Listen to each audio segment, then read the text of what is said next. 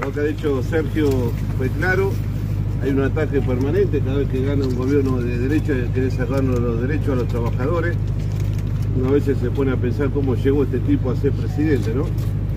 Bueno, ya está. Eh, lo importante, como dijo Sergio, vamos a defender todo lo que se ha logrado, fundamentalmente el impuesto al trabajo, que nuevamente lo quiere implementar, quieren volver a sacar las indemnizaciones. Este es un mensaje a los senadores en los próximos días tienen que rechazar este proyecto de ley que ha presentado este gobierno, empleado del Fondo Monetario Internacional, que lo primero que quieren hacer es sacarnos los derechos. Así que bueno, creo que esto es importantísimo.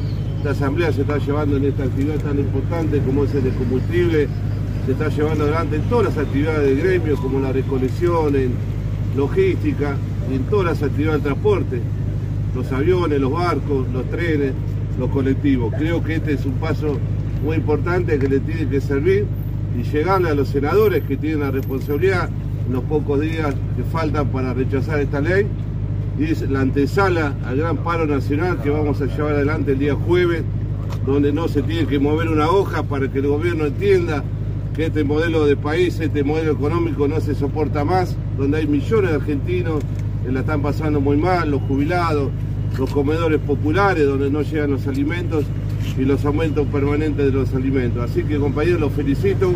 Estamos recorriendo todas las actividades, ahora me voy a recorrer los compañeros de la recolección que también están llevando adelante esta asamblea.